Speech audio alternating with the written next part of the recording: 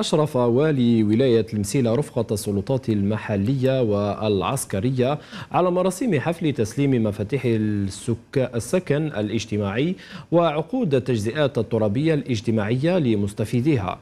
الحصة التي وزعت بمناسبة الاحتفال بذكرى أول نوفمبر بلغت 3490 وحدة سكنية من مختلف الصيغ. سفيان قوادري رصد التالي.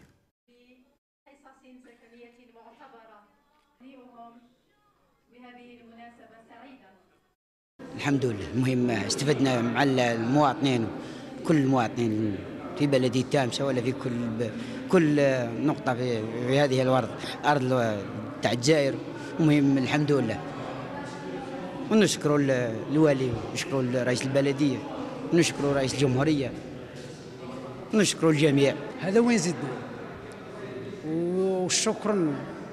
للمجاهدين وربي يرحم الشهداء إن شاء الله. نشكر السلطات ونشكر رئيس الجمهورية ولي الولاية رئيس بلدية رئيس دائرة على المجهودات التي بذلتها وكل التوفيق للمواطنين الذين تحصلوا على السكنات. والإعانات قدرت ب 3490 آه، سكن وإعانة منها 412 سكن اجتماعي.